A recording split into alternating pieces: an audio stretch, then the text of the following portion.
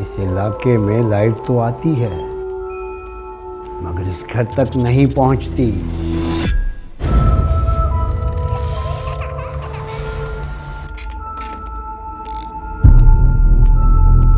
चाचा।